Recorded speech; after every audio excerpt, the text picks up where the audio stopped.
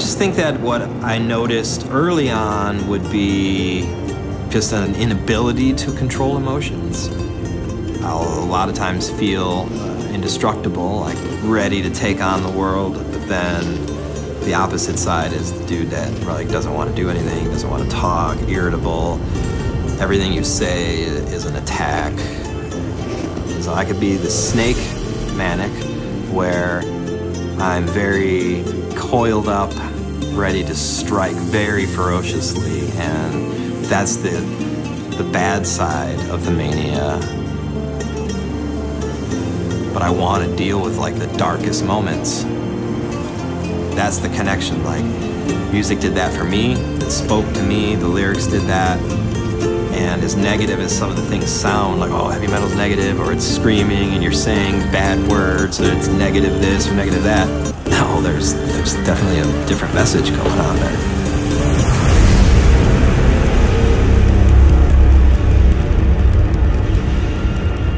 Like Layne Staley, for example, he was a huge influence for me growing up when I was younger and really starting to feel emotional and depressed and getting those teen hormones and angst and all those things and discovering like impactful lyrics. It felt like he was speaking directly to how I was feeling and all the stuff felt right. I think I started to realize I had something going on when I was in my teens. Even if I were to look back at it, I maybe would have chalked it up to being a just ornery kid or something and just going through normal hormonal stuff. But then, like, now that I'm older and I do reflect and I do cognitive behavioral therapy, I can look back and be like, no, man, you were dealing with some shit. You just didn't like know how to deal with it. I'd be like, I think, you know, the one, one thing I, I, remember saying, seeing was I saw Machine Head, but they were for, touring with Slayer, and, and I just remember seeing them, and I turned to my friend, and I'm like, I want to be in a band like that on Roadrunner one day. It just kind of gave me this feeling that maybe I could do that, and they really inspired me, and by 98, you know, Chimaira formed, so it wasn't too much longer.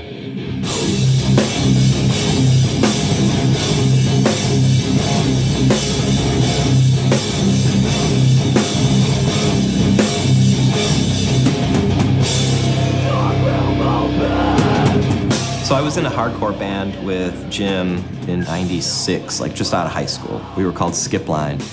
And we played some shows, and we played shows with another popular band called Ascension, who were a hardcore band. Once Ascension fizzled out and Skipline fizzled out, uh, the bass player of Ascension, Jason Hager, uh, called me and asked if I wanted to start a band with him. He liked my vocals and stuff. I was like, yeah, but if we're gonna do this, let's do it right. Like, let's get a practice studio, let's make songs, let's try to get signed. Like, I don't wanna do this, just play clubs on the weekend and shit. Next thing you know, it was August of 98. We moved into Rock and Roll City Studios in Cleveland and wrote our first song. I mean, this is really bizarre, but like spelling to spell a word. You're literally like, this is to cast a spell. So, and I think of how impactful that is and think of the history of language and like, that's how we've communicated everything is like through word and writing it down and transcribing it and casting a spell and changing things. And I'm like, words are really important. So uh, then I really start taking things seriously once I locked in, I was like, oh, I just got a key. Like I felt like I was like fiddling with the door all this time. I'm like, I think I'm kind of getting it right. Like, oh wait, you, you just used a key. Oh. There are plenty of examples of dudes that wrote amazing lyrics that impacted so many people and myself personally that didn't have a tragic story. How long have we known each other? 30 well, years now, huh? Yeah. Well, if you look at 1988-ish, I had to, I had to borrow something from Mark off of his jacket. The first time I met him, it was a Guns N' Roses pin. I said, "You don't like Guns N' Roses? Give me that pin." I still got that pin though. That's why. That's how we figured out almost 30 years. Yeah, which is interesting because he had just met me, but assumed that I didn't like Guns N' Roses for whatever reason. Yet I had the pin. Yeah. No, but like the thing is, being from Cleveland is it's like, you know, the Cleveland's gone through its ups and downs. It's had a lot of shitty, you know, a lot of shitty press from the world, like uh, from the outside of the uh, of the of the city. Like we've gotten a lot of bad, you know, this mistake by the lake. I mean, you know, At least we're not Detroit. Oh wait, yeah. no, never mind. Yeah, well, that's true. but the point is, though, it's like you know, Cleveland's had a rough, you know, and I think that's kind of like how we are as our band, in our in our band. Like we've, you know, and we would do a good chunk of our writing in fall and winter months and record in fall and winter months. So that gave us something to do as well. Um, but I think that environment adds to the texture of our music, um, the back, the background we have old dilapidated buildings and the cold. Uh, where, yeah, I suppose we could make pop happy sounds, but uh, it's just not. It just doesn't feel yeah, right. It doesn't feel. Because believe me, you, you should have seen my oh, yeah. my boy band. It was great. Just more of a. I didn't have the body for it, so I actually said, ah, I better do some heavy metal stuff. he's got Chimaira here. Well, now, as I was saying, the new album came out, and it's just like a breath of fresh air. Because when you listen to that album, The Impossibility of Reason, when you listen to the whole thing from start to finish, I get the feeling that it is a very, very personal album for you guys, and there is a lot of stuff within you that you unleashed out into the studio and those sessions. Like we had this competitive attitude. We wanted to fucking destroy everybody on stage. We could either do this set list that we did tonight, or we replace. I guess that's what drove us, though. It was this competitive nature of like survive, not only survive, but thrive. We wanted to be at the top of a pyramid. There is no nobody else. It's gonna happen now, right? For those of you guys that don't know, the press, they call me Metal Moses. And for those of you guys that don't know what Moses did, someone informed me a couple days ago that he smoked weed. I didn't know that. But uh, he parted the Red Sea. So tonight, Metal Moses is parting the heavy metal sea. Choose your side for the battle. All right. When this kicks I want you to put every fucking ounce of hatred in your fucking lives into this shit. Are you guys ready?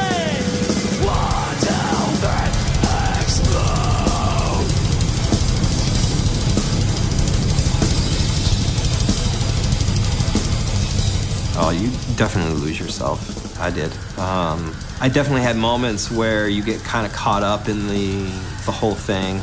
I don't want to say celebrity dumb, but the professional. You're in the big leagues.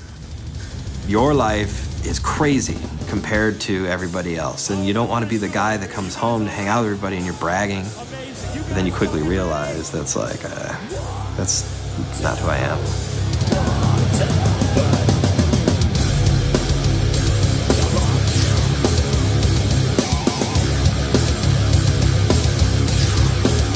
Uh, what we always start with with mental illness is are you having problems as a result of the symptoms that you're having? When we talk about bipolar, we talk about people that are both having those highs, manic, manic episodes, followed by the lows, which are depressive episodes. The data suggests a whole range of numbers, but as far as we can tell, about 25% of humans in, in the world, uh, but particularly in the United States, are going to experience some kind of mental health issue at some point in their life. Which is to say, people who are experiencing mental, uh, mental health symptoms and mental illness are not alone. What I find is that uh, people with mental illness have often found themselves stigmatized. There's a, there's a need to kind of express themselves in a different way or to get it out, something that they feel like they can't just get out in a conversation. Um, and it gets them starting to express themselves in a whole variety of different ways. And I think that leads them to be very attracted to art and artistic expression. I definitely like to have my art reflect my feelings, so I chose to create heavy music because it, that's the in, the feeling in, inside I had was to I guess, uh, rage or something, and just wanted to scream. And it, it felt cathartic to and therapeutic to be able to not only express the feelings on paper, but then to actually physically perform them and have this exorcism, this release uh, into the studio and the microphone and whatnot. Um, kind of makes not the issue go away, but it almost feels that you have a little more control over certain situations.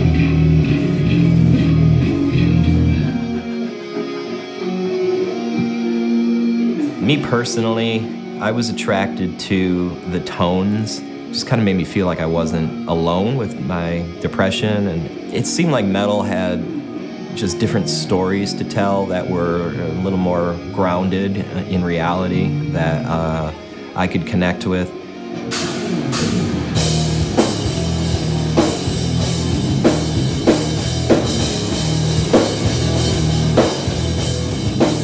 In medicine, physicians are trained to identify problems or deficits and get rid of them. And psychiatry, traditionally, as a medical field, typically looked at people and said, there's someone with schizophrenia, let's get rid of it. And if we can't get rid of it, let's protect that person from bad things happening. There's someone with bipolar, let's get rid of it. Let's look at the deficit and spend all of our time focusing on the deficit. You're living with something all the time and the medications that we have are imperfect, and let me be very clear, they can they're so transformative for so many people and also so imperfect for so many other people. And after we finish this stuff up, I want to go back. You can work on something else. you know, it is things like art and uh, uh, uh, you know expression and creativity and relationship building and a whole range of those things that make life worthwhile for all of us they're necessary, and they're even more necessary for people who have uh, uh, are struggling with mental illness or mental health symptoms. And when you when you're when you're experiencing life in a positive way, and you're experiencing positive things in life, um, well, in, in that case, then you know th- that can help tremendously with the symptoms.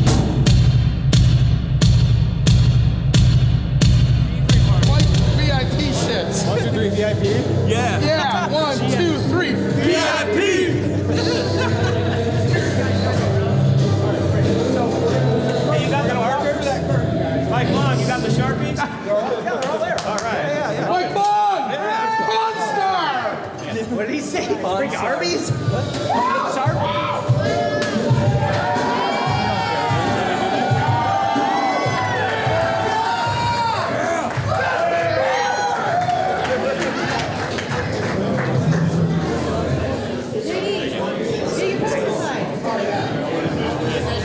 I'm gonna put it where it's gonna hurt. All right, fuck it. I got this done about like four or five years ago, and I've been meaning to come and get them oh to sign it. I'm gonna go back to Manhattan tomorrow and get it tattooed on my arm, so it's there forever. Just missing handles. That's what I need. Need handles to sign it. these lyrics that kind of resonated with me and i'm like man i hope my lyrics are resonating with our fans so once i became cognizant that it's just not me trying to get out all of my inner demons that i have a i have an audience now and i can use the emotion to direct it for for good This is definitely the biggest production and show we've ever done in our hometown and headlining. So it's different in the aspect that Not letting anybody back here, okay? So back on this side over here. it's grandiose, but it's also we're at a level of maturity where we can, we can handle it.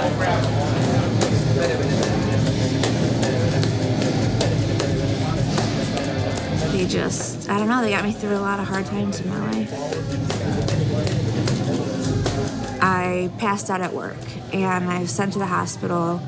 The doctors looked at my blood and they were like, We don't want to scare you, but we think you might have leukemia. I just started laughing because I, I didn't believe it. When I was first diagnosed, I had never taken like Ativan or anything like that, and they just kind of assumed that with the diagnosis of leukemia that I would become depressed again. At this point, I was on nothing. Like I knew I was bipolar and um, had anxiety, but they just put Ativan into my IV like it was nothing. First time, I definitely felt more inspired by the disease. And then I had probably about three years of remission. I was able to go to metal concerts again. And then it was like as soon as my hair was long enough to headbang, I woke up one day and my legs were paralyzed. I was at a point where I felt so numb. I couldn't cr- really cry anymore. I just, I couldn't really accept life at that point. I was just miserable. I spent months in the hospital. I definitely turned to music. And actually, I always listen to Chimaira whenever I get a spinal tap or a bone marrow biopsy. Did you ever stop and think that I'd be able to look in your eyes and say that I was stable? That lyric by Mark, I would think about that all the time because I would just, my goal in life is just to get past mental illness and be able to say, like, I'm okay. A lot of metal music in general, it brings out this part of you that nothing else does. It takes you outside of wherever you are and lets you escape for as long as you want.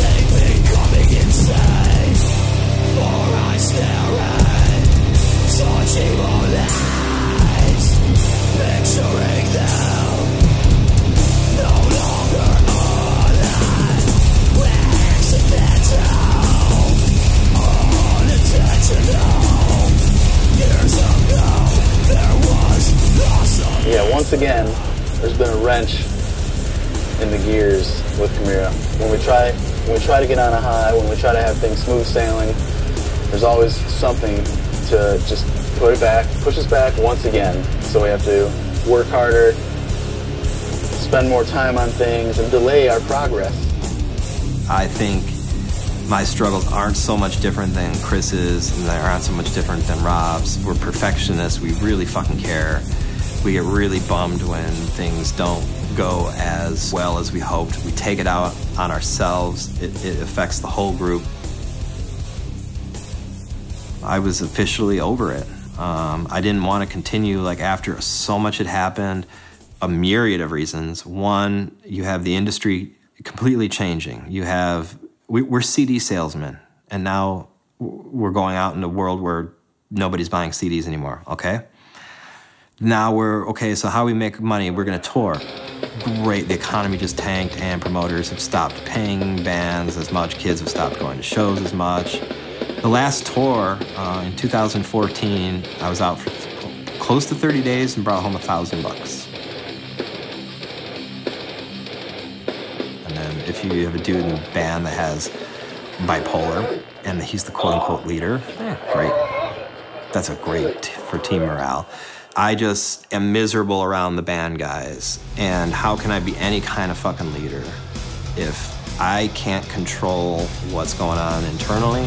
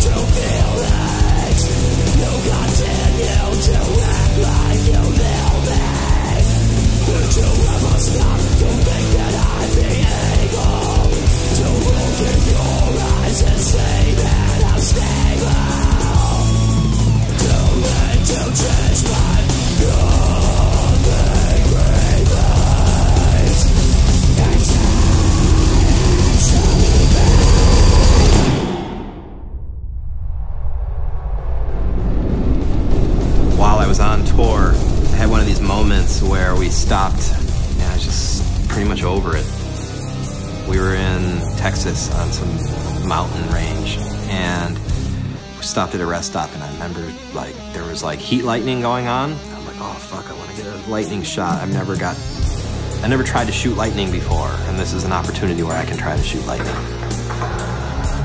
I, I'm kind of a deist, but I talked to God, and I'm like, if I get this next shot, if it's a money shot, then, you know, like if I capture the lightning, then I'm fucking done with music and I'm gonna do photography. And then boom, like I got this fucking like amazing lightning shot. I'm like, that's it, I'm done. And I knew right then and there. You've done a lot of things to take negative emotions that, that were having negative impacts on your life. Correct. And turn it into these really cool positive things. That's what I try to do. Um, Absolutely. And you've uh, uh, also had an experience that I think is somewhat common, which is that you experienced a level of success in your life as a musician that got you on the road all the time. This Sure. is the dream. And then it turns out the road is incredibly stressful. So you had a whole new set of symptoms. Absolutely. And it sounds to a degree like you start you found a balance there as well. I'm curious as you've you know had these different experiences with different kinds of mental health symptoms in your life that you've then also found different ways of kind of uh, uh, uh, dealing with through your work. Um, what is next? What you know? What you know? What do you kind of? Yeah, definitely. So- once music, I don't think, music hasn't really ended. I think it was more of a hiatus. But when music ended for me, or at least I thought it was going to end, I got into photography. And that was a different type of creativity I was able to use. I didn't have to channel an emotion. I didn't Mhm. have to go out and just get pissed off or be angry or find whatever skeletons were in my closet and try to bring them out. Um, I could just create, and it was nice to be my own boss with that. Um, not that I don't want to share, but when you're working in a band, it's a very much a collaborative effort, and sometimes you have to compromise. And this is uh not an art where I feel I have to compromise. I'm contributing to society still, and I can share those images with people. And that's one thing I liked about music was being able to share these experiences and. Nobody gives a fuck about me not in Chimaira. And that is what I guess my mass is to me is I have this audience. My photos don't, to my knowledge anyway, mean anything to them compared to if I were to get on stage and perform.